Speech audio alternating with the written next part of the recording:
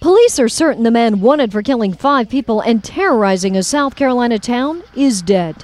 The investigation can prove that um, Mr. Burris was was near all three crime scenes on the date and the times of the murder.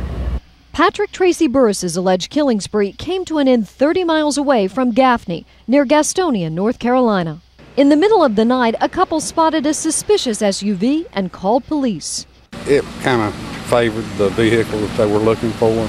Burris gave police a fake name, then pulled a gun on officers when they tried to arrest him for a parole violation. It really shocked me when the shots started going off, and I said, you know, this guy's got to be crazy to shoot at three police officers. One officer was wounded inside the house, but police fired back and killed Burris. Investigators say the gun Burris used was the same one used by the Gaffney serial killer.